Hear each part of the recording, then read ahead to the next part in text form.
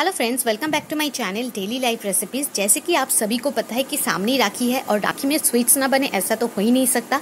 तो आज मैं आप सभी के लिए लेके आई हूँ बहुत ही कम इंग्रेडिएंट्स के साथ और बहुत ही जल्दी बन जाने वाली मूंगफली सौंदेश की रेसिपी यूँ तो आपने मूँगफली बर्ड भी बहुत ही खाए होंगे, पर ये मूँगफली सौंदेश भी आप ट्राई कीजिए आई श्योर आपको बहुत अच्छा लगेगा। तो मूंगफली का सौंदेश बनाने के लिए मैंने यहाँ पर सौ ग्राम मूँगफली ले लिए हैं, जिसको मैंने रोस्टेड करके रखा है। तो अभी इस मूंगफली को हम मिक्सर ग्राइंडर में ग्राइंड करके इसका एक दरदरा पाउडर बना लेंगे। तो मैंने यहाँ पर एक मिक्सिंग जार ले लिया है, जिसमें मैं थोड़ा थोड़ा मूंगफली ऐड करके इसका पाउडर बनाऊँगी। एक साथ ज़्यादा मूंगफली ऐड कर ऐड नहीं करना है। थोड़ा थोड़ा मूंगफली ऐड करके मिक्सी को चालू बंद चालू बंद करके हमें इसका पाउडर बनाना है। ध्यान रखें, जब भी आप मूंगफली का पाउडर बनाएँ तो एक साथ कंटिन्यूसली ज़्यादा देर तक मिक्सी को ना चलाए, नहीं तो मूँगफली से बटर निकलना स्टार्ट हो जाएगा, जो कि हमें बिल्कुल नहीं चाहिए।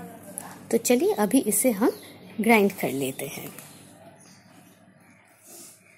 तो देखिए, मूंगफली का पाउडर बनके तैयार हो गया है। हमें बिल्कुल ऐसे ऐसी दरदरा टेक्सचर चाहिए, एकदम फाइन पाउडर हमें नहीं चाहिए थोड़ा सा दरदरा टेक्सचर चाहिए। ऐसे हम बाकी मूंगफली का भी पाउडर बना लेंगे।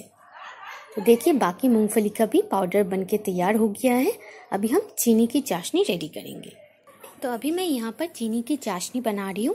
चीनी की चाशनी बनाने के लिए मैंने इस कप का हाफ़ कप चीनी और हाफ़ कप पानी ऐड किया है। तो अभी मैं इसे मीडियम फ्लेम में चाशनी बना लूँगी। चाशनी जो है, वो एक तार की चाशनी बनेगी। तो हम इसे मीडियम फ्लेम में बना लेंगे। जब ये चाशनी बन रहा है तो इसी टाइम पे मैं यहाँ पर दो इलायची को तोड़ के इसमें ऐड करूँगी। इससे एक अच्छी अरोमा आएगी संदेश में। तो देखिए, चाशनी जो है हमारी एक तार वाली, वो तैयार हो गई है। आप देख सकते हैं यहाँ पर।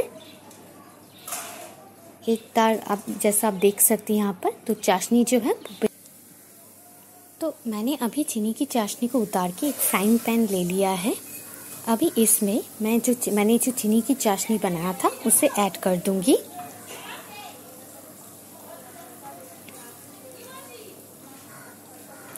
और जो पीनट पाउडर हमने बनाया था, वो पीनट पाउडर यानी कि मूंगफली पाउडर को भी हम इसमें ऐड कर देंगे।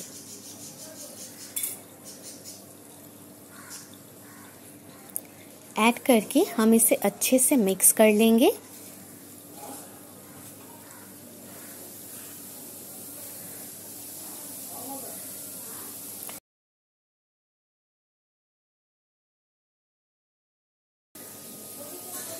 तो देखिए, ये अभी मिक्सचर के बाद एक डो जैसा बन गया है।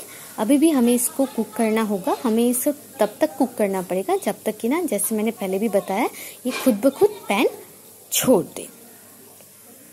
तो देखिए, अभी ये एकदम डो जैसा बन रहा है और खुद ब खुद पैन से अलग हो रहा है। तो अभी हम गैस के फ्लेम को ऑफ़ करके इसे प्लेट में निकाल लेंगे। तो अभी हम ऐसे एक स्टील या फिर एल्युमिनियम का प्लेट ले लेंगे, जिसमें मैं थोड़ा सा ऑयल ब्रश करूँगी। आप इसमें घी भी ब्रश कर सकते हैं। घी ब्रश करने से और भी अच्छा एक फ्लेवर आएगा, पर मैं ऑयली ब्रश कर रही हूँ। अब इस ऑयल को अच्छे से स्प्रेड कर देंगे। तो अभी हम इस मिक्सचर को थाली में अच्छे से स्प्रेड करके इसे एक रेक्टेंगुलर शेप दे देंगे।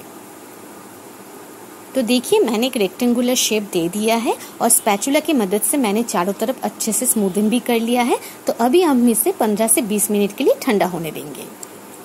जब ये थोड़ा बहुत गर्म रहेगा, उसी टाइम पे हम इसमें थोड़े बहुत काजू गार्निश के लिए ऊपर से स्प्रिंकल कर देंगे। क्योंकि ठंडा होने के बाद ये काजू संदेश में सेट नहीं होगा।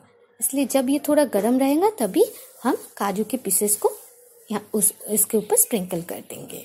तो देखिए 20 मिनट हो चुके हैं तो अभी हम इसको कट कर लेंगे। तो देखिए मैंने कट कर लिए। तो देखिए मैंने सर्व कर दिया और तैयार भी हो गया मूंगफली का संदेश।